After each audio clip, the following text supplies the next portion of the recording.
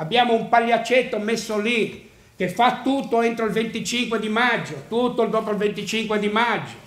Abbiamo eh, questa, questo voto di scambio che fa lo Stato, un voto di scambio, gli 80 euro.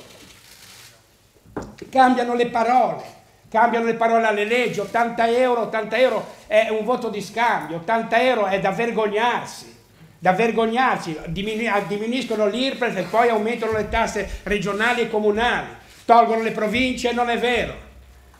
Una, e, e, voi, e, voi, fate dei titoli, abolite le province, non è assolutamente vero, lo sapete benissimo. Il 416, volevo ricordarvi, che è la più grande, la più grande vergogna di questo paese. Sarà votata oggi pomeriggio, io andrò là a vedermeli in faccia questa gente qua.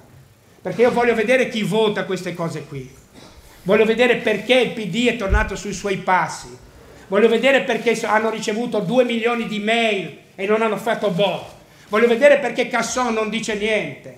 Voglio vedere perché. Voglio capire il perché. La fine di queste persone che hanno condotto l'Italia al disastro, che sono stati importanti, parlo di Berlusconi e dell'Utri.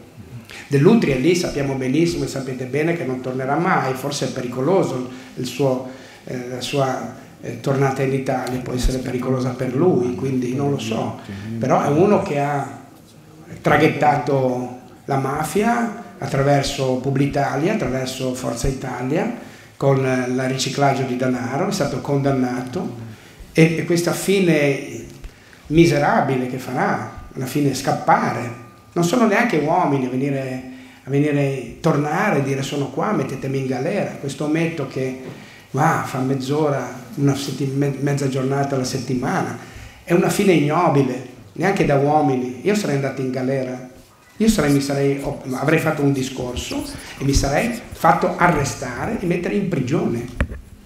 Questi non sono neanche uomini, fuggono, cambiano le leggi, si vedono nascosto con Renzi perché io ti modifico il codice penale col 416 ter e tu poi mi, mi, mi dai la tua, tua, il tuo appoggio per le riforme che voglio, finte che voglio fare, finte, finte. Noi vediamo i documenti, non c'è nulla di scritto.